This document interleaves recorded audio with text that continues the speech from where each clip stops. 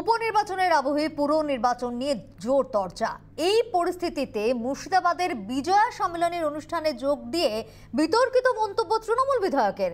মন্তব্যের সমালোচনায় সরব বিরোধীরা।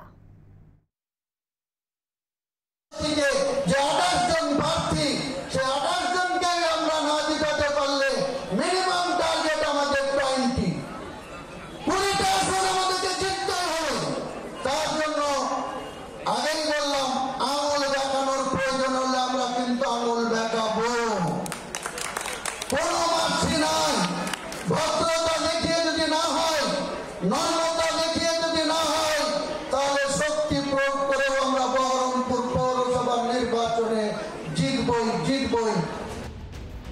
বিজয়া সম্মেলনের অনুষ্ঠানে এভাবেই কার্যত হুমকির সুর। মুর্শিদাবাদের ভরতপুরের তৃণমূল বিধায়ক হুমায়ুন কবিরের। তৃণমূল বিধায়কের এই চড়া হুঁশিয়ারির পর সমালোচনার ঝড় রাজনৈতিক মহলে। এক যোগে সমালোচনায় সরব হয়েছে বিরোধীরা। মাফিয়া রাজ চলছে বাংলা জুড়ে নৈরাজ্য চলছে বাংলা জুড়ে।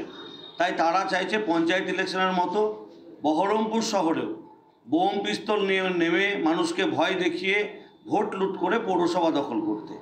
মানুষ সরকার চালায়। পশ্চিমবঙ্গের মুখ্যমন্ত্রী তিনি নির্বাচনের কথা বলছেন। তার দলের পক্ষ থেকে বহরমপুরবাসীকে তীব্র ভাষায় আক্রমণ করা হচ্ছে। যা শুধু অপমানকরই নয় আপত্তিকর অসাংবিধানিক অগণতান্ত্রিক। যদিও সমালোচনার পরেও বিরোধীদের অভিযোগকে আমল দিতে নারাজ তৃণমূল বিধায়ক। ভোট কেন হবে না? মুর্শিদাবাদ জেলার বাইশটা বিধানসভার মধ্যে কুড়িটা বিধানসভা ব্যাপকভাবে রেজাল্ট করেছে।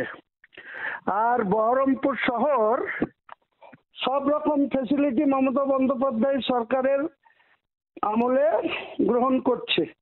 সবকিছু ভোগ করছে। আর ভোটটা অন্য জায়গায় দেবে, কেন দেবে? এখানে বিরোধী কে কি বলল? বিরোধী আছে কে? ওই জয়ন্তর কোনো কথার জবাব আমি দেব না, গৌরী ঘোষের কথারও কোনো জবাব আমি দেব না। পরিবর্তনের এক দশকে বারবার শাসক দলের একাধিক নেতার বিরুদ্ধে হুমকির অভিযোগ উঠেছে। পুরো ভোটের আগে সেই তালিকায় যোগ হলো হুমায়ুন কবিরের নাম। রিপাবলিক বাংলা।